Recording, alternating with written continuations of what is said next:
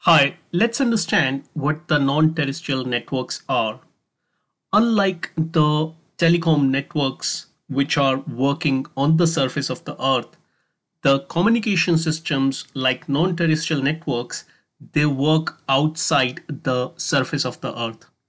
It includes different kind of networks. It could be the satellite communication, it could be the high altitude platform systems, or it could be the air to ground networks.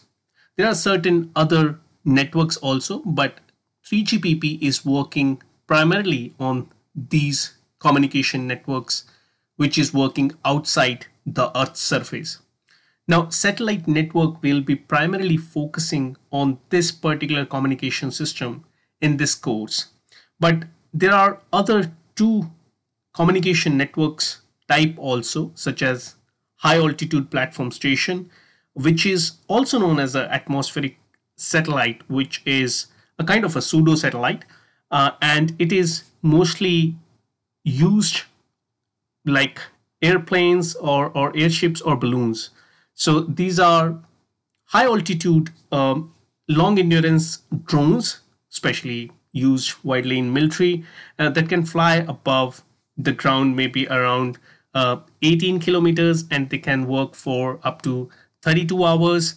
Uh, and it, it is used for for multiple purposes. It is used for weather monitoring. It is used for radio relay. Uh, maybe used for Earth imaging, uh, border security, and so on and so forth.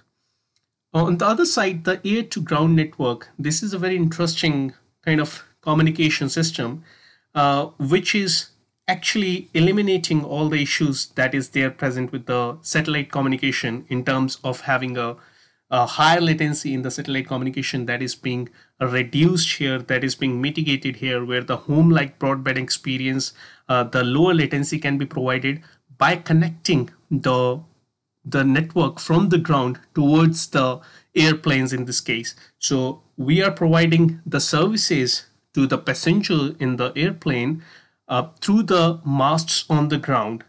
And this is interesting because here the onboard antenna on the airplane that is required, which is not very, very uh, heavy in weight.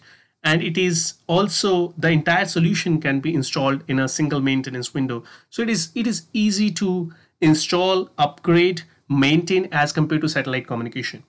But as I said, the 3GPP is working widely on the these three categories, but main focus is on the satellite networks. And we'll talk about that primarily in this particular course.